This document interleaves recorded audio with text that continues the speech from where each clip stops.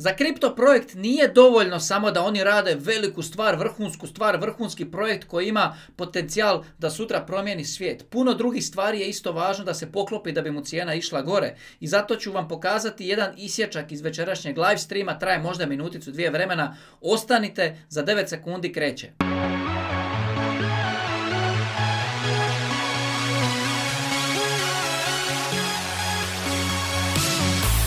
Ovo je zanimljiva usporedba. Ulaziš u noćni klub i gledaš oko sebe, ne znaš koja je ljepša od koje. Ti ne znaš u kojem pravcu bi išao. I tamo stoji jedna ono, ružna ko ponoć, ali je dobra u duši. Ti ne znaš uopće da je ona dobra u duši. Ti samo želiš nešto opalit večeras. Imaš apartman, imaš nešto love, slobodnih žena, ko u priči, priči nikad kraja. Ti nećeš ni pogledat ono što je dobra u duši. Ej, nisi ti tu da gledaš ko je dobar u duši. Ti si tu da odradiš ono pošto si došao. U kriptu toliko je narativa, toliko je projekata. Znači masovno se samo pumpaju priče, pumpaju priče i neki projekt koji samo razvija svoj projekt, znači dobar je u duši, Neće ga niko ni primijetiti, a možda, možda su sposobni da promijene svijet sutra. Možda su sposobni da razvale, možda su sposobni da unesu promjene u nečije živote, da promijene nešto, znači da ima utility i sve živo. Ali ako o tom ne, ne pričaju najveći mediji, najveći youtuberi, najutjecajniji ljudi u zajednici, founderi svih živih projekata, ako se ne postavlja pitanje da li je taj projekt taj koji će razvaliti svijet,